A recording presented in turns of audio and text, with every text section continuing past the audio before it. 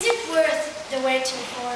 If we live till 84, all we ever get is gruel. Every day we say a prayer. Will they change the bill of fare? Still we get the same old gruel. There's not a crust, not a crumb. Can we find, can we beg, can we borrow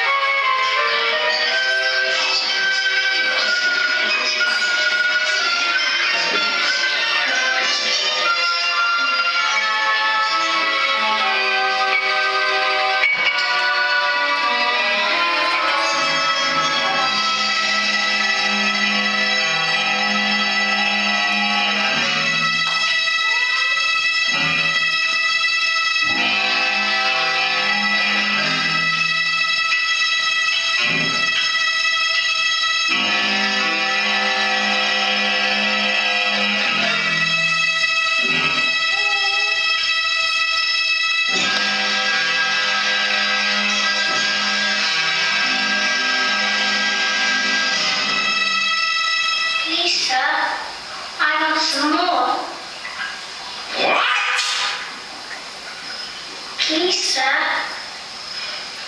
want some. More?